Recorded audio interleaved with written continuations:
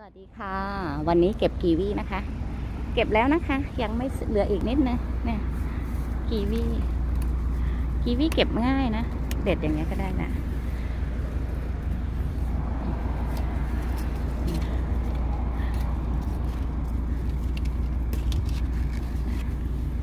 กีวีค่ะอะกีวีกีวีนะ ปีนี้ปีนี้ไม่ค่อยเยอะเท่าไหร่นะคะ เพราะว่า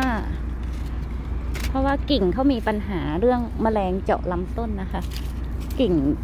กิ่งเขามีน้อย ตอนเซตกิ่งนะคะ มีน้อย อันนี้กิ่งที่ออกมาใหม่นะคะ ที่เห็นเยอะๆเนี่ยกิ่งกิ่งตัวเมียมีน้อย แล้วก็กิ่งตัวผู้เห็นไหมคะ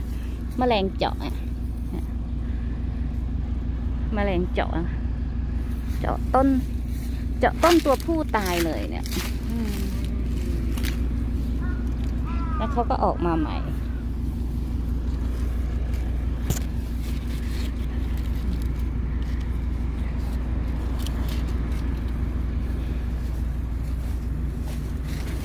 ปกติเขาจะได้เป็นเข่งอะค่ะ เข่งสองเข่งอะไรอย่างเงี้ย อันนี้มัน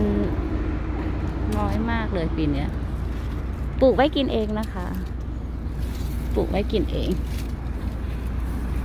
น่าจะหมดแล้วนะ มีแอบตรงไหนอีกบ้างไหมอะตรงนี้มีอยู่อีกลูกหนึง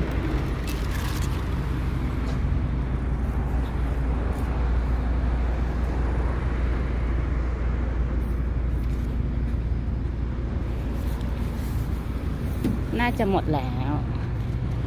นะคะได้หนึ่งตะกร้านะคะ แบ่งกันกิน โอเคค่ะ สวัสดีค่ะ